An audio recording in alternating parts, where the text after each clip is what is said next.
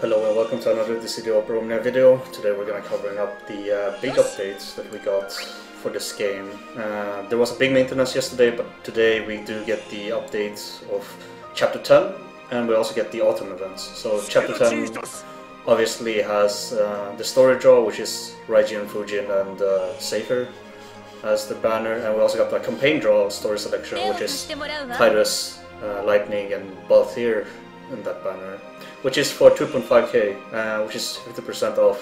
We're gonna do that pull later. Uh, we're gonna cover up the Autumn Festival campaign that's happening right now. So obviously autumn now, no more summer, everyone's back to school, etc. Um, we are getting the event with the Cactuar Conundrum. conundrum.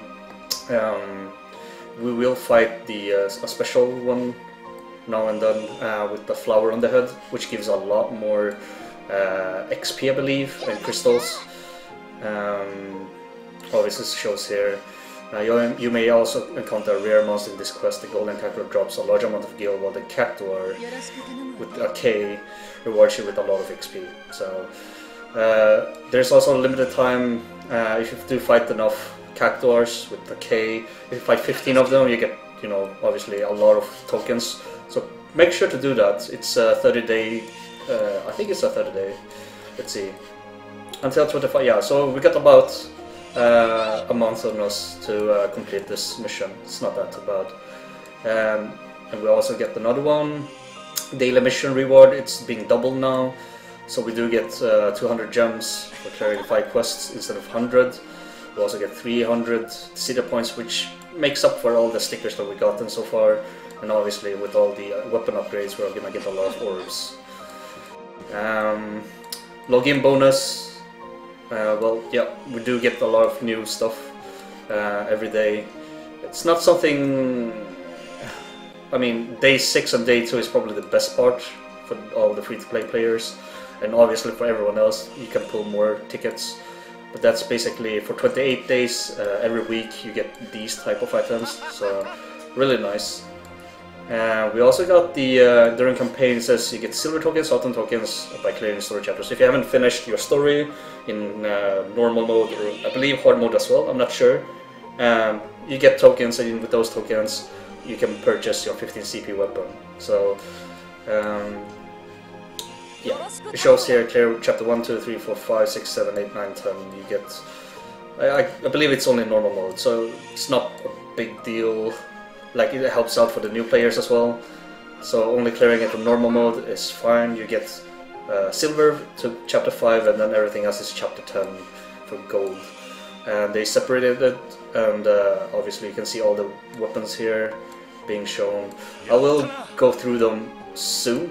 Um, trying to make this video as short as possible and obviously we do get uh, some sales on gems for those that likes to purchase, you know, support the devs and then pull for more for themselves. Uh, we also get World of Illusion, a new chapter, World of Illusion part. Uh, I believe this is a new one, and obviously doing this will get you a little bit more gems as well for completing every single one of them. You also can start to farm artifacts for certain characters. Seifer, uh, Fujin Raijin on Radiant, and the other one is uh, Titus Balthier and Lightning. So if you do want to farm artifacts for these, these are really good uh, right now to do that. Um, obviously telling you about the hidden quest, blah blah blah blah blah, we already done this. Done.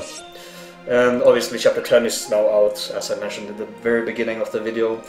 Um, waiting for it to load, it'll star um, Seifer over here really nice. Obviously, I won't be um, I won't be pulling for any of this banner. I don't think I will. Uh, I mean, they're pretty good characters, but I don't think I will use them in co-op. Uh, there's no mandatory to use them because they're not being synergized or anything. So I'll stay away from these three characters for now. Unless it's your wife or a husband or whatever, then go for it. So going off with the shop, we got the uh, new shop called Autumn Story Challenge. I already completed most of them.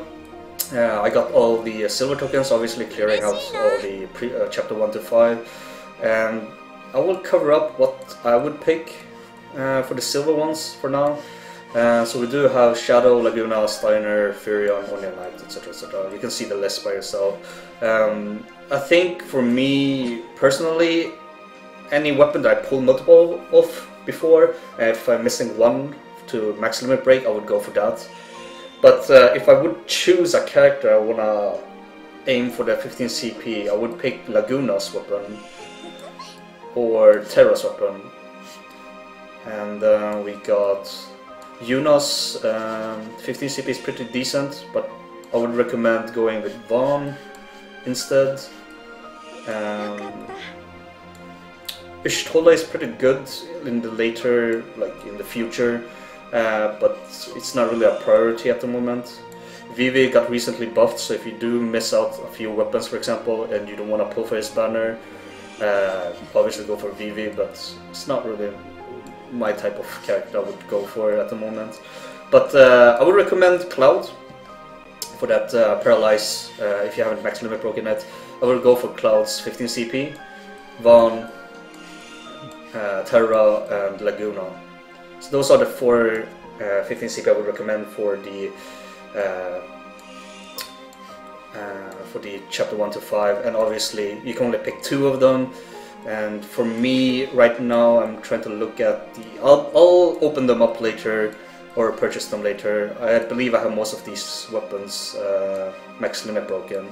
But uh, Laguna is probably going to be one of the choices that I'm probably going to be uh, using my 20 tokens on as for the golden one, we got Wakka, Galuf, Shantotto, Lyle, Zell, Vincent, uh, Cyan, Papalymo, uh, Lightning, Irvine, Sarah, and Edgar.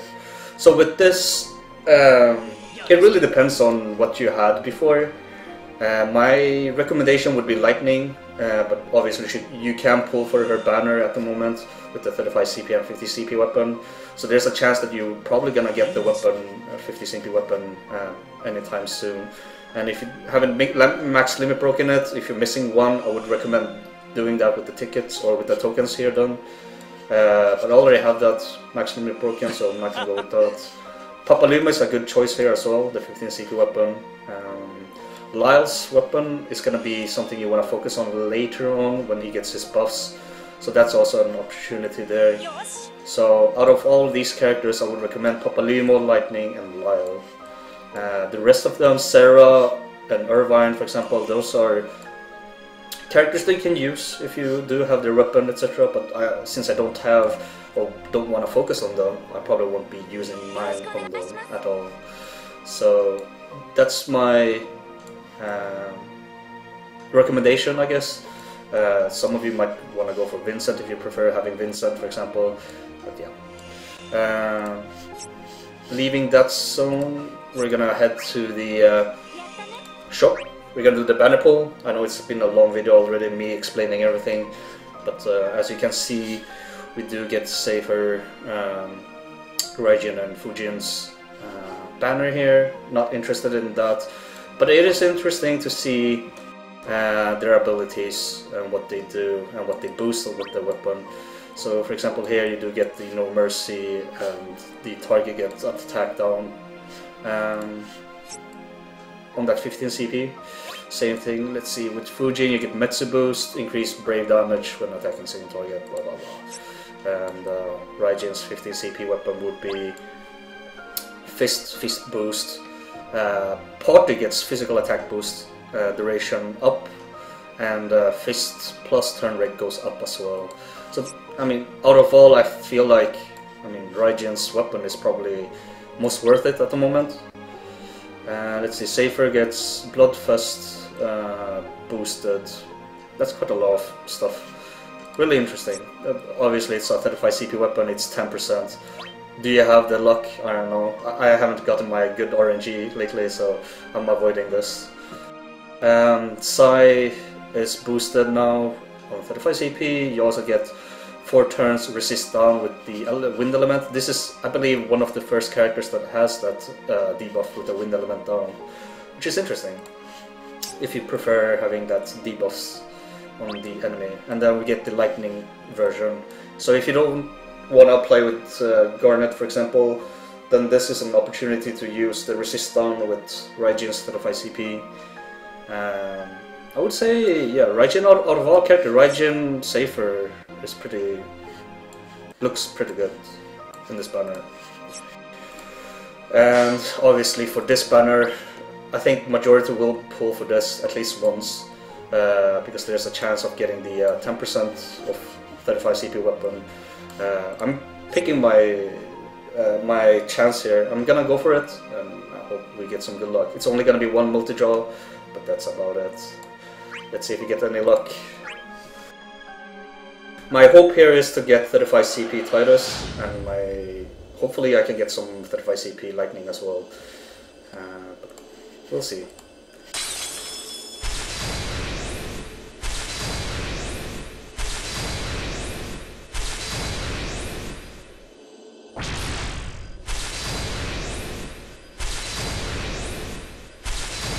High touch.